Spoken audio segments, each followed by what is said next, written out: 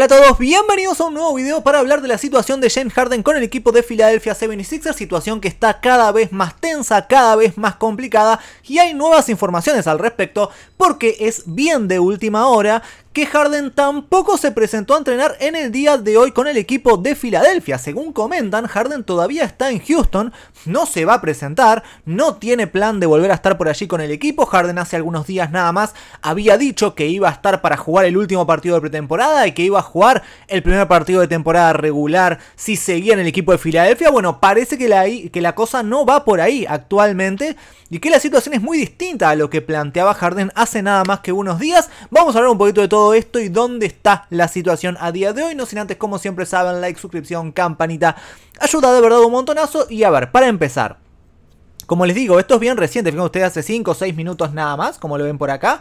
Wojnarowski y Jamchaña, los dos, casi al mismo tiempo, con segundos de diferencia nada más, dijeron, dijeron que Harden no fue a la práctica de los Sixers en el día de hoy. Otra vez, otra vez al igual que ayer, tampoco se presentó James Harden. Ayer supimos que no se presentaba, y hoy tampoco, hoy tampoco se presentó. Dice Nick Nurse, en este caso, que es poco probable que Harden juegue mañana, en el último partido de la pretemporada. No lo descartó por completo, pero todavía dice que es poco probable.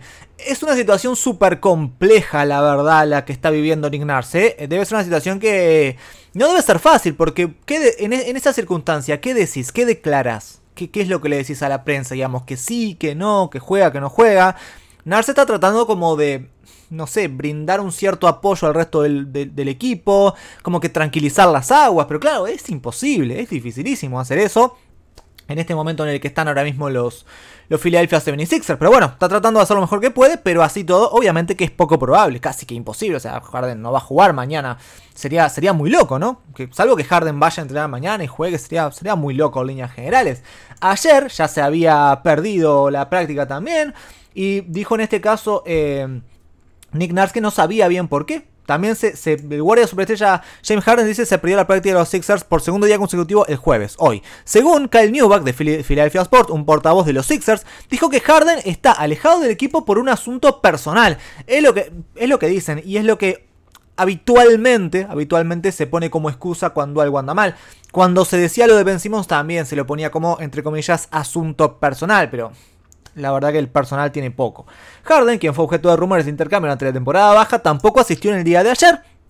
Y el entrenador de los Sixers, Nick Nart, dijo en ese momento que no recibió explicación de por qué Harden estuvo ausente, según comentó Steve Bontemps, periodista de ESPN. Esa es la situación. Pero situación más interesante hay también respecto a la negociación, porque a ver, si Harden se niega a jugar, es porque la negociación no ha ido como a él le hubiera gustado. Esa es la situación. Y hablando de esto, hablando de esto, Samamik hizo un bastante extenso análisis hablando de esta situación y qué es lo que está pasando, para que sepamos bien dónde está, dónde está efectivamente la situación del traspaso a día de hoy.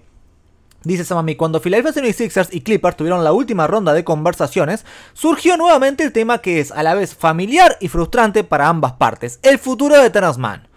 Después de meses de discusiones entre los dos equipos y con Harden alejándose de Filadelfia a medida que se acerca la temporada regular, el presidente de operaciones de los Sixers, Daryl Morey, tenía esperanza de que los Clippers hubieran cambiado de opinión sobre el base de 27 años. No es base Transman, pero bueno, pongamos por caso. Pero no lo hicieron. Es decir, Clippers lo quiere a Transman, pero eh, perdón, Clippers lo quiere que Transman, bien digo, y Filadelfia también. O sea, los dos lo quieren y ninguno de los dos está dispuesto a cambiar de opinión. Filadelfia lo quiere sí o sí a Transman, no está dispuesto a que no sea incluido en el traspaso. Clippers no está dispuesto a incluirlo y se lo quiere quedar sí o sí. A pesar de que los Sixers indicaron que aceptarían una oferta de selección de primera ronda protegida de los Clippers, swap y jugadores que igualarían los salarios, Iman, Dos personas involucradas en negociaciones dicen que el presidente de operaciones de baloncesto de Clippers, Lauren Franks, retiró la postura de que el equipo de que no sería parte de la oferta. Morey, eh, dicen esas personas, expresó su incredulidad y acusó a los Clippers de no tomarse en serio el acuerdo. Incluso bromeó diciendo que deberían cambiar la estrella de los Clippers Chris Paul por Harden si estaban tan decididos a conservar a Terence Mann, una solicitud que obviamente fue rechazada. Así que el estancamiento comenzó justamente cuando Harden hizo su demanda de cambio a los Clippers el pasado verano y que ahora se ve obligado a separarse por completo de los Sixers, ¿no? Ahora que no está yendo a entrenar. Como informó Shamcharan el miércoles por la mañana, Harden no ha estado con los Sixers en persona desde el domingo y se sabe que estuvo fuera de Filadelfia. Se perdió la práctica de tiro del equipo, la victoria de pretemporada contra Brooklyn, que se suponía que podía llegar a jugar, y luego se perdió la práctica del miércoles después de las primeras señales de campo de entrenamiento que Harden estaba dispuesto a seguir siendo paciente mientras este proceso continuaba. Eso es lo que decía, ¿no? Porque fíjense ustedes, o sea, se hizo artículo, yo hice un video hablando de que Harden se quedaba, porque supuestamente así era. Esto fue el día 5 de octubre y cómo cambió todo en una semana y poquito, ¿no? Cambió muchísimo, cambió muchísimo de verdad. Eh, que dice, bueno, eh, claramente elegido dejar, bla, bla, bla. A menos que Harden comparta un video de la ausencia de los Sixers consideran algo digno de ser eh, excusado, excusado, perdón, todas las señales apuntan a que el equipo multará a Harden. Y sí, lo van a multar. Es obvio, ¿no? Porque esa es la carta que puede jugar Filadelfia. Es la única carta que tienen para obligar a Harden a, ir al equipo. Multarlo. Veremos a ver si lo hacen o no. Harden sigue furioso con Morey por su manejo de la situación. Se mantuvo en comunicación con el equipo a través de Elton Brand el martes por la noche. Miren, esto es curioso y esto no lo sabíamos. Harden no quiere hablar, no quiere hablar con Morey, pero habla con Elton Brand. Interesante. Por parte de los Sixers creen que la ira de Harden debería dirigirse a los Clippers. Si los Clippers pusieran a Terrence en el trato y al mismo tiempo renunciaran a los desprotegidos primero, el intercambio de selecciones y los salarios equivalentes, Harden cumpliría su deseo y los Sixers tendrían la oportunidad de perseguir algún tipo de jugador de alto nivel a través de algún otro intercambio que los mantenga en la pelea por el título. Se sabe que Filadelfia ya tiene esos cambios programados en los que recibiría una selección de primera ronda a cambio de Terrence justamente. Esa es la cuestión. Filadelfia cree o sabe que va a sacar alguna ronda por Terrence Filadelfia tiene de por sí algunas rondas más. Filadelfia puede hacer un traspaso medio bueno, ¿no? Mete 3, 4 primeras rondas, lo que sea, porque va a tener una de Clipper también, mete todas esas primeras rondas y seguramente que con cuatro primeras rondas y alguna cosita por allí se va a llevar algo bastante positivo. El objetivo de los Sixers a partir de allí sería hacer que esos activos formen parte de una oferta posterior por el jugador de calibre All-Star de su selección más adelante en la temporada. Es un plan imperfecto post-Harden, pero creen que es justo para todas las partes considerando el valor limitado que recibirían por un jugador de la magnitud de Harden. Sin embargo, como lo ve Harden, los Clippers ya alcanzaron el umbral que creían que deberían haberse llevado a un acuerdo y Morey en esencia está moviendo los postes. Más específicamente, la voluntad de los Clippers de ofrecer dos selecciones de primera ronda, la suya y una de otro lugar, ha sido rechazada por Morey debido a la calidad probablemente de las selecciones. Su interés al parecer solo está en los activos de los Clippers. Me parece súper curioso esto igualmente. Después vamos a hablar un poquito, voy a dar mi opinión después que... Bueno, ya termina la, nota. Como informó Athletic a principios de octubre, los Clippers habían estado hablando con varios equipos en un intento de asegurar el tipo de capital de draft adicional que creían que podría apaciguar a Morey. Pero la falta de claridad sobre qué selecciones se están discutiendo entre Sixers y Clippers, así como las condiciones, hacen perfectamente imposible ver esta situación con claridad. Está todo muy confuso, la verdad. Creo que ninguno de los dos sabe bien qué es lo que quiere. La declarada falta de confianza de Harden en Morey, su antiguo compañero de baloncesto, provocó su ira como su manejo de su posible agencia libre el verano pasado y seguramente está empeorando, está empeorando por cómo se ve la situación. Mientras tanto, con Harden y Morey tan familiarizados con estas dinámicas incómodas, el mundo de baloncesto espera su próximo movimiento de nuevo, una vez más. La situación es complejísima, la verdad, está todo muy convulsionado. Harden obviamente cree que Filadelfia no está respetando la parte del acuerdo, que era traspasarlo, básicamente. A ver, lo que dice Harden básicamente es, Filadelfia me dijo que me iban a traspasar, entonces traspásenme, no negocien, traspásenme directamente y ya está, porque si no, yo me hubiera ido libre en todo caso, dice Harden. Y al mismo tiempo, Morey dice, bueno, pero si te ibas libre no ibas a tener el salario que tenés ahora mismo, entonces déjame negociar. Es una puja constante. Lo que a mí me genera más curiosidad de todo eso es eh, Mann. Porque, a ver, me parece que a ninguno de los dos les conviene demasiado lo que está pasando, ni a Clippers ni a Sixers. Porque a ver, vos sos Clippers. Perderte de la posibilidad de llevarte a Harden, que es uno de los mejores jugadores de la NBA, sin duda alguna, o sea, Harden es top 30 de la NBA, por lo menos top 25 incluso. Es de los mejores asistidores de la NBA, es un tipo capaz de meterte 10, 12 asistencias por partido sin eh, pestañear prácticamente y 20 algo de puntos. Es un jugadorazo. ¿Problemático como el solo? Sí, obviamente, es lo peor en un vestuario. Pero como jugador, la verdad, es espectacular. Y los Clippers supuestamente lo quieren, a sabiendas de eso igualmente. No hacer la negociación por Terrence Mann Me parece raro, la verdad. Siendo Clippers. Porque sinceramente, o sea, ¿es un buen jugador Transman? Sí. Es un buen suplente. Es un correcto suplente. Uno hace un ranking de mejores 100 jugadores, pongamos por caso, de la NBA. ¿Entra Transman? No. No, claramente que no. De los mejores 150. Capaz, ahí. O sea, no llevarte a Harden por no querer dar a Transman me parece raro. Porque si Transman tuviera 22 años, bueno, yo lo podría llegar a entender. Tiene 22 años chico. Capaz que en algún momento explota y empieza a funcionar mucho mejor y, qué sé yo, tiene un futuro brillante por delante. Transman tiene 27 años, o sea, no va a ser ya mucho mejor de lo que es ahora mismo. Y lo que es ahora mismo es un correcto suplente y nada más, la verdad.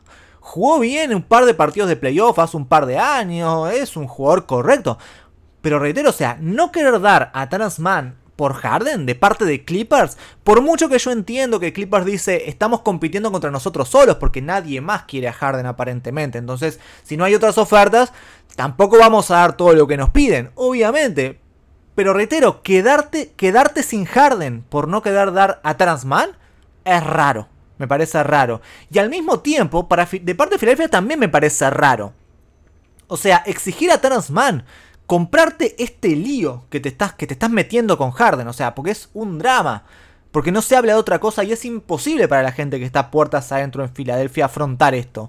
Es re difícil, es re difícil arrancar una temporada así, es re difícil. Yo estoy segurísimo, estoy segurísimo que Nick Nurse se debe querer morir de haber agarrado los Sixers. Podría haber ido, podría haber ido a, Phoenix, por ejemplo, que lo querían también. Podría haber ido a cualquiera porque era el mejor entrenador disponible. Fue a los Sixers, se debe querer matar a día de hoy con toda esta situación que está pasando. Porque si por lo menos le sacas a Harden, bueno, tenés otra cosa como para armar algo y, qué sé yo. Pero todo esto por Man, digamos, te cambia tanto la ecuación, Man. Es tan bueno como para realmente... La verdad que no sé, me parece extraño también, la verdad. No creo que ninguno de los dos esté demasiado. No creo. Me da la sensación de que los dos equipos están tratando de pujar de lo que puedan, de sacar lo más que puedan. Pero ya ha llegado a un punto esto que es insólito. O sea, es, muy tonto todo, ¿no? Es como raro. Es como raro. Reitero, no es malo Transman, ¿eh? No es malo, pero. La verdad que parar toda la negociación porque sí, Transman, no Transman. Me parece extraño. Si esta negociación se da en junio, julio, bueno, digo, está bien. Eh, se puede pelear un poquito. Claramente se puede pelear un poquito. Tratar de sacar algo más, tratar de hacer algo más. Pero a esta altura, o sea, faltan 5 días para que arranque la temporada. Vas a arrancarla con Harden en Houston si sos Filadelfia. Vas a arrancarla sin, vas a arrancarla sin Harden si sos Clippers y ver qué pasa después. Eh, no deja de ser un riesgo, porque capaz que ahora mismo parece que nadie quiere a Clipper, pero capaz eh, que nadie quiere a Harden, solo Clipper, pero capaz que algún otro equipo eventualmente se suma a la puja cuando vaya empezando la temporada, qué sé yo. Eh, es raro y es riesgoso y no lo, no lo comprendo del todo, debo reconocer. No lo, no lo entiendo del todo, qué es bien lo que está pasando y cuál es la situación. Pero bueno, parece que el que inclina la balanza sí o sí es Transman. Clipper quiere dar, básicamente, meter, qué sé yo, una primera ronda, un swap, eso es lo que quiere Clippers, y después Marcus Morris, Covington, Amir Coffey y algo así. Y en este caso Philadelphia dice, no, sacame a Covington, dame a Terrasman. Si no, no hay trato. Y bueno, esa es la puja que hay ahora mismo. La verdad es raro, sinceramente. Es extraño. no sé, como que, como que cuando se dio el traspaso entre, entre Lillard con el equipo de Milwaukee Bucks, como que si Blazers le hubiera dicho, bueno, pero nosotros también queremos a, eh, no sé, AJ Green, pongo por, decir un jugador de Milwaukee o alguno de esos, o sea, eh, el, suplente que a ustedes les guste más. Eh, y bueno, te lo hubieran dado igual, Milwaukee no, no, iba a dejar pasar la oportunidad, te lo hubieran dado igual. Y si Milwaukee le decía, no, mirá que la verdad que no, y bueno, lo hubiera hecho igual seguro Blazer de traspaso. No es que te inclinaba tanto la balanza, digamos. Es raro esto, la verdad que es raro. Yo qué sé, no sé. Pero bueno, es lo que está pasando ahora mismo y es Transman el que va para un lado o va para el otro se están disputando. El que mejor está ahora mismo es Transman, porque se debe sentir súper querido. Se debe sentir que es Michael Jordan en su prime. Claramente, porque es una disputa que hay ahí entre él y bueno, uno el otro, los dos lo quieren, yo qué sé, se debe sentir por los cielos realmente. Tiene que ser Olsar esta próxima temporada, por lo menos. Reitero, tiene 27 años Transman, es un correcto jugador, pero un poco, un poco insólito todo lo que está pasando. Pero bueno, esa es la situación que hay ahora mismo. Mientras todo esto pasa, Harden sigue sin ir a entrenar, Harden sigue sin presentarse en Filadelfia, veremos hasta dónde va todo esto, hasta cuánto aguanta Harden, qué termina pasando. Esa es la situación al fin y al cabo, así que bueno, veremos qué termina ocurriendo con esta situación. Si les gustó el video, como siempre, like, suscripción, campanita, ayuda de verdad un montonazo. Muchísimas gracias a todos por haber llegado hasta aquí y nos vemos obviamente la próxima.